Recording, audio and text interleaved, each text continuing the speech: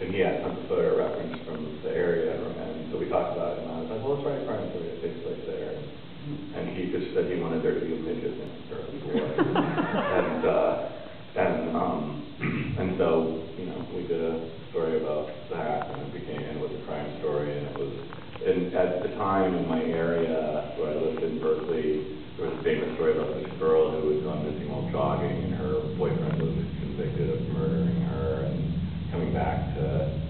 sex with her dead body. It was a fairly famous story in the early nineties, early eighties in Berkeley, and there is not hundred percent. Sure what really happened, but they did eventually find her body, and the guy confessed, but it was like a confession was tossed out, because the police held him for like seventy-two hours of questioning. It was like a really complex story, but it, but that was kind of one of the inspirations for that was, uh, just having had this thing happen, I was thinking about it a lot, and I was reading a lot of true crime and stuff, so I just thought, well, I can write a crime story, and then Eric can draw it, and then we that, and got nominated for a couple Eisner Awards at the time, back then, they, they did the Eisner Awards at like two in the afternoon, or like a panel room, and, you know. Yeah, that was so. early nineties, like Early 90, right? Yeah, like, mm, yeah, nineties, ninety-one, something like that. So, yeah, we got nominated for some awards for that, and then that got me in the door at Vertigo, with Lou Stathis, and then Eric uh, Robinson. Mm. And, And uh, now, obviously, like the, the and the, uh, the was, was clear from then. You were, your art was sort of veered towards that, kind of naturally. Yeah, I mean, I'm not, I mean, the stuff I see, I'm like, I'm not, I don't- I'm not a big fan of that stuff like that. Right. Um, but visually I like to look at that stuff and because I enjoy it. yeah. I mean, I was just throwing my, that guy knows he hates noir. No, I do, I've seen, I've seen some movies and I, I read some books, but, um, I'd already, I, it started changing because I started doing Hellblazer. Right. The thing is Hellblazer. and- Yeah. Um, and that subject matter suits the darker, shadier, blacker. Yeah, uh, I think, I guess that's why I. And I'm, I'm sort of, just before that, I a book called Kid Eternity, Vertigo, Oh, yeah. and that sort of, like, my art gone in the wrong direction, it got very smooth and brushy and clean, and it wasn't right, and then I started doing Hellblazer, and I started doing it in that same style, and it didn't work, so then Yeah. I chucked, I threw away the first six pages and to them again. Right. Wanted more, my more mature style, so Yeah. it took years to figure out how to do it black and white, because when I started doing like substitute as I do, it was all painted artwork. Oh. I could paint, but I didn't know, you know, black and white style, the only black and white style I had was how I saw the Judy comics. And that didn't really suit, um, Hellblazer or, um, yeah. Yeah. I mean, I'm, I'm, I like the look of that stuff, I like the, those sort of like to do like the the black and scratchy and Yeah. less mainstream stuff. I'm not, there's not many superhero artists that I like anymore, they're all a boring, but, um, you know. A a couple of times I've had to do links, which I hardly ever do, and Ken Williams and Bill Sienkiewicz both things like that before. Wow. So I knew going in that they'd make it scratchy. and Oh, yeah. Give it some texture and, and make it look like that. Yeah, when you did that, that Kingpin thing where you did the layout Oh, for that, Klaus, that, yeah. that, yeah, that was, that was good as well. Yeah, 'cause he's very, like, this kind of. No, it's a pure brush. Like pure brush. Yeah, oh, okay. Pure brush, I was quite surprised when the art back. The-. Yeah, he didn't know his way out, he thought it was fish pencil, he didn't know anything. That's what happened. And And so that was the last time anyone ever hired him. I think it was. So at what, at what point did, were you, like, you know, when you were working on Wildcat, that was sort of. That was late, late nineties, two thousand, something like that. Yeah. Put a date one. When you were writing, when you were drawing Wildcat, We were doing that. we were doing this thing called Gotham Noir, that was our first full, full, full, real collaboration. Is that the first thing that you guys did together? Yeah, Uh, yeah. well- Well, I had written it before, Yeah. and then they, Well, we were looking for an artist. and Michael Arden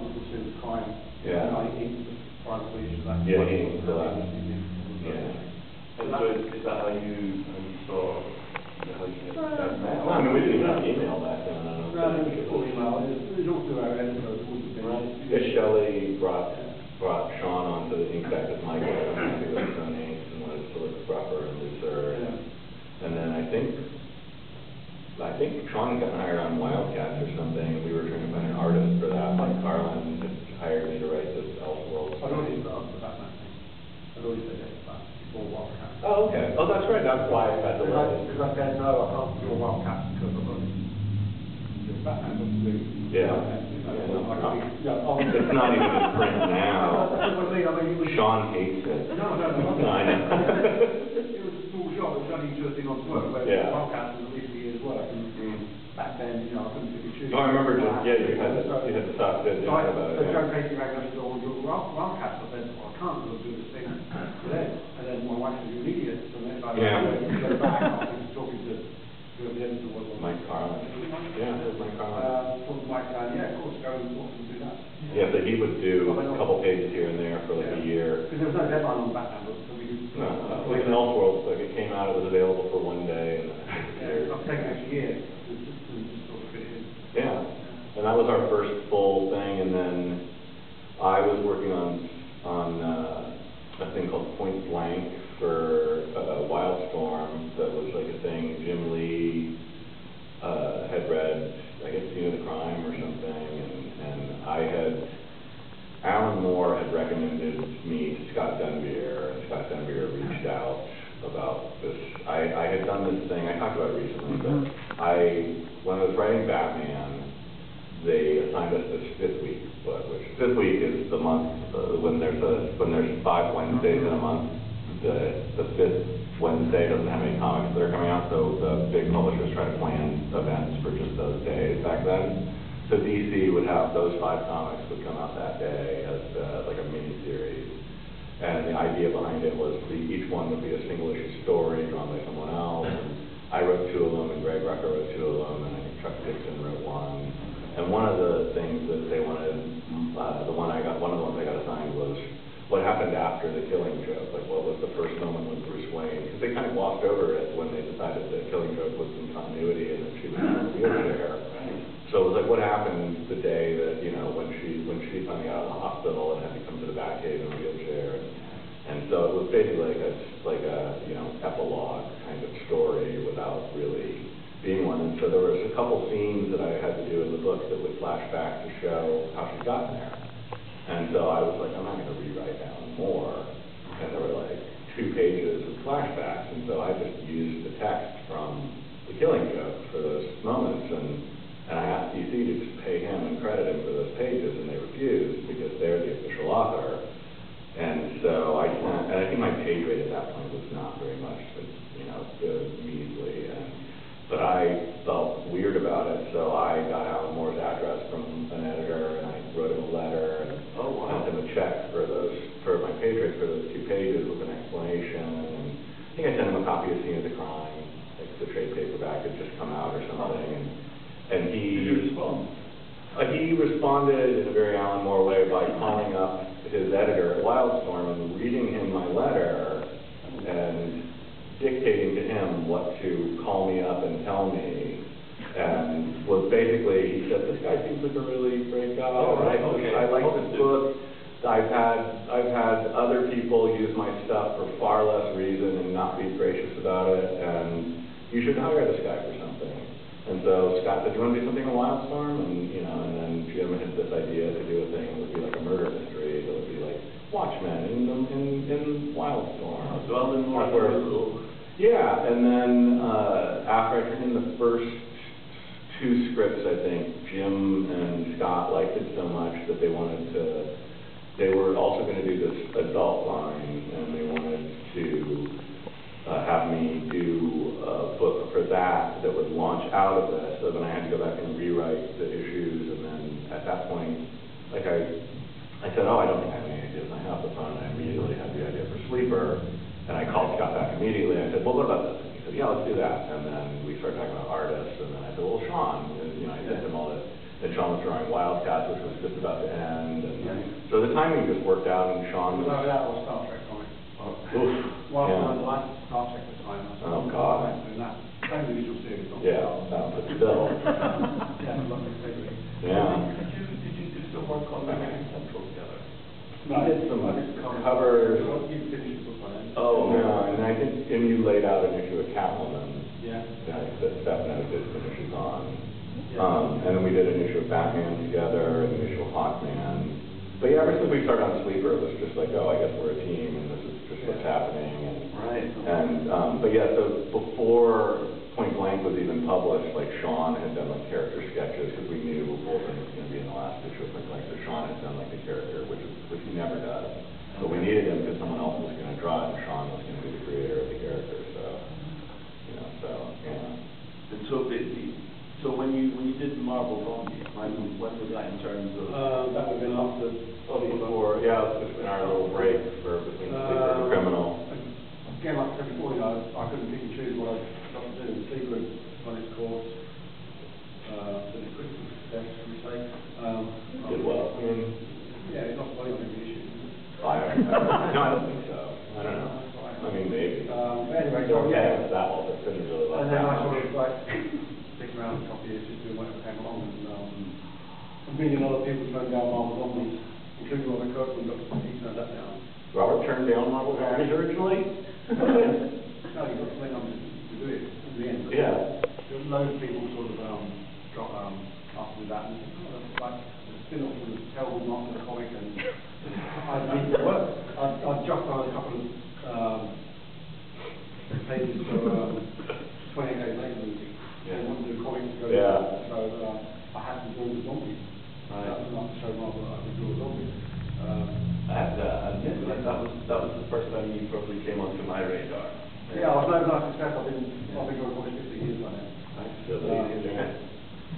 Twenty, yeah, I was on twenty, I was two thousand and five, yeah. Yeah, uh, twenty-five years then. Yeah, and then while he was drawing that, we were getting ready to do Criminal, I Yeah. think, because we had talked about doing it, and I had pitched it to Icon, and they made us wait to do it because they were worried about me being able to manage the workload on the Marvel books, and then eventually, they just kept piling more work on, so it was clearly, like, I was never gonna get the time to actually do it, so I just called up the publisher and said, if you don't let me do it now, I'm just gonna have a nervous breakdown, so just let me fucking do my book.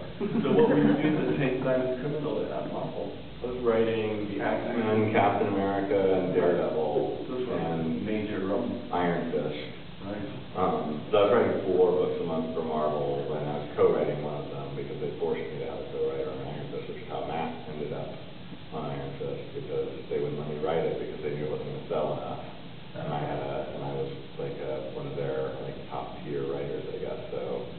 That when you become like one of their higher, like, level people, they're paying you so much that they don't want you to do a book that's gonna sell twenty thousand copies if you're right, you know, so. But, you know, it was great, it helped Matt become like a bigger, you know, Yeah. I got him into Marvel deeper, and David Aja, you know, got to get discovered, and, uh, and, you know, then they made two terrible seasons of TV. And gave us nothing. Um, But, uh, yes, I was doing all that and just desperately wanting to do, because that was the only period of my entire career where I had at least have one thing that I was doing that was just my thing, like, or our thing, like Sleeper. Like, I had been, I came in through Vertigo, so everything I was doing, I had some sort of stake in. Yeah. You know, and it felt more like, like personal. You know, as much as I loved, you know, a lot of the work that I did for Marvel and DC, it's just, it's not the same thing as doing something you created from the ground yourself. Sure. So, uh, Sean and I, I think we were in Lisbon or something, and we, and we, and I sort of pitched him the idea for criminal, yeah, Barcelona. Yeah, we had one summer where we did a couple of shows together. Yeah, that's right, Um, yeah. and then we didn't see each other for ten years. Yeah, we rarely ever. We were, we've not seen each other for five years until this. Yeah, the last time I saw him was in, uh, in England at the Lake Festival. And we email almost daily. Oh, yeah. You know, we've talked on the phone probably three times in our lives. Yeah, maybe. But, uh, I wouldn't want to talk on the phone. But if I don't get a page from him, like, you know, over the course of three days, if, if three days pass without a page, I start to worry that something's gone wrong, or Yeah. he's had a heart attack, and that's the end of it. Like, oh, well, I have no career now. So you pretty much consistently had a book together every year? Twenty years. maybe? Twenty years almost, yeah. It'll be twenty, I mean, yeah, basically since ninety-nine, Yeah, we we've worked working together. together. We started doing Gotham Noir in, in ninety-nine or two thousand, I started writing in, uh, Yeah. he was in Sleeper, or, Sleeper, uh, and then Marvel Zombies paid for criminal really, because the, the deal we had with Icon criminal is that it's all back end. Can- Yeah. I can afford to wait six months to see if I might make any money. Right. But Marvel Zombies, their biggest book that year, so the royalties kept me going for six months. No, I was paying you. Well, yeah, a little bit, like, it's half my rate. I know you. Um, yeah, Half but, rate, so the work is miles on the, um, help people get around. Yeah, and I was, I had made royalties on the Death of Captain America, which is what I was using to pay him the colorist and, and advance selling foreign Right. editions and using that money to pay them too, so I could finance the book without having to. No, like you, Yeah. kill Captain America, sold the other discount copies. No, it sold, uh, it sold A lot. like two million. Okay, but you, you got. Yeah, oh yeah, still, Frustrating because. Yeah, nothing. uh, if you, if you own it, money you out, you get much bigger. Yeah. Oh yeah, if I had had any piece of that, I would have been, we wouldn't be sitting here today. No. We'd be in, the- we'd be in the penthouse.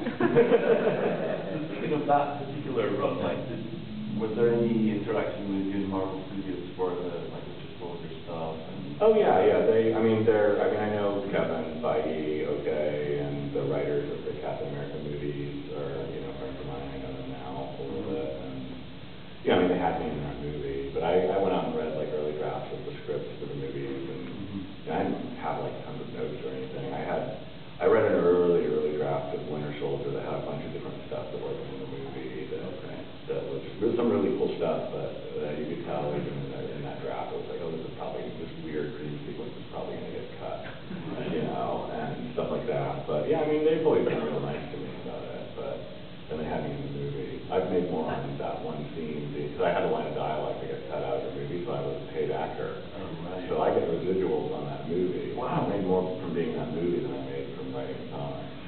Wow. And it's not like I've made a lot from being in that movie, so. But, Life in uh, comics. Yeah, exactly. But it's nice, you know, and, and kids come, you know, trick or treating dressed as the Winter Soldier sometimes, or that year especially. And you go to comic conventions and there's tons of teenage girls walking around dressed as Bucky Barnes, which is awesome. So it's, uh, it's, it's nice to have, you know, help create part of